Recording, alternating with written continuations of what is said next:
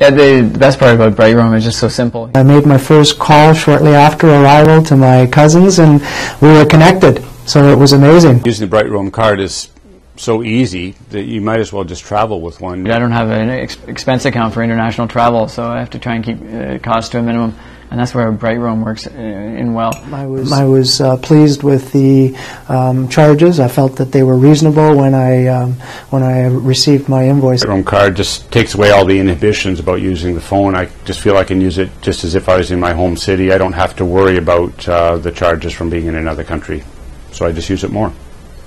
I've never had a bad bad experience. No, I've had had bad experiences with with cards that I've tried buying overseas that um, couldn't understand the uh, the language, uh, had difficulty getting people to help me, and uh, that's one thing about Brightroam. If you do have problems, you can call and get an English operator. You just open up the back of the phone and insert it, and away you go. I just get it on on um, the internet monthly, and uh, it's always been really easy to figure out and itemize billing. I can see the calls I've made and uh, I've never had any confusion about that. It's always very transparent. It is handy to have a, a local phone number. I found customer service to be excellent. They took care of me. You know before you go, you've got your SIM card for that country or that region. Uh, it's one less thing you have to worry about. I've been very successful with the uh, Brightroam product, which is why I continue to be a customer. Convenient. Just plug it into the phone and you're ready to go.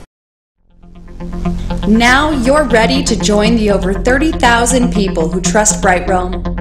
Roam fearlessly.